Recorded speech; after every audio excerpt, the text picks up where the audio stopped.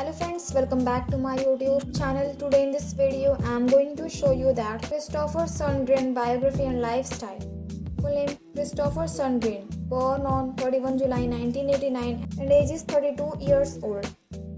Christoffer Sundgren is a Swedish curler. He currently plays lead for the Swedish national team, skipped by Niklas Edin. He is one of the most successful curlers as reflected in World Curling Federation Championships as he ranks third of all time both as a winner of World Men's Curling Championships medals and European Men's Curling Championships.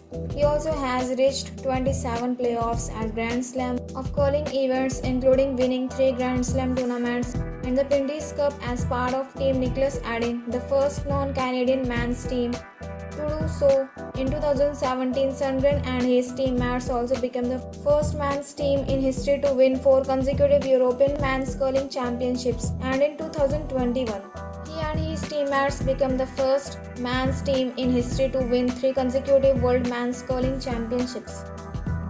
Sundgren currently resides in Karlstad, Sweden. He graduated from Karlstad University with a Master's of Science degree. As a junior curler, Sundgren played for two curling teams before he entered university at age 16. He played in swag curling in the third position for a team skipped by John Eriksson.